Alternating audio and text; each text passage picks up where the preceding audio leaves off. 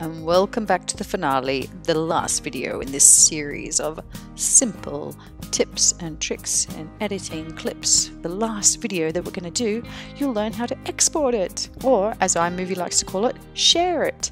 So let's go and share the video and get your video out there. So here we have our whole project. You have the video, the main video footage of the person speaking.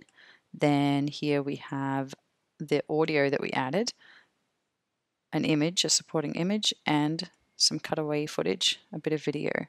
Okay, so let's export this whole thing, or should I say, let's share it.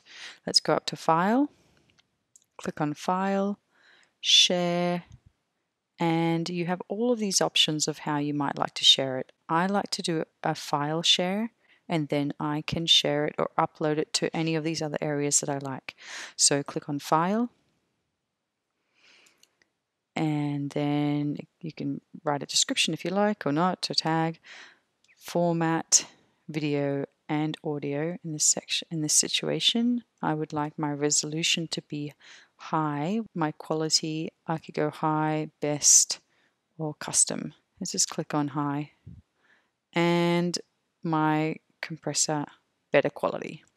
Okay let's click on next. And this is where I can name the video file I'll call it iMovie demo. And I click on save. Now I've saved it, it's exporting. But looking at this, you can't see how, or where, or that it's exporting. If I go to look for the file, under exports, you can see where the file is. However, you won't be able to watch anything yet because it's still exporting. I can tell this because I can see these files that have come up underneath it. There'll be another one that comes up soon as well.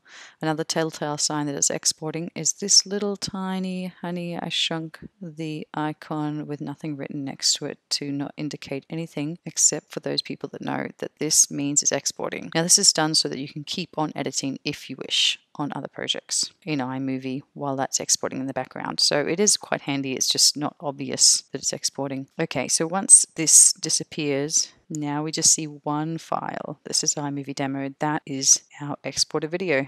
I can press spacebar and have a wee look. Hey, hey, awesome. welcome to some amazing examples of how to do video editing using iMovie. Now I can go ahead and upload that to YouTube if I like or to your Canvas site. So now you know how to export your video in iMovie. So let's share it and let's spread it out there. Let's give it to a friend. Let's upload it. Let's give it to your students. Let's give it to your staff. Let's give it to your teacher. Arrivederci, my friends.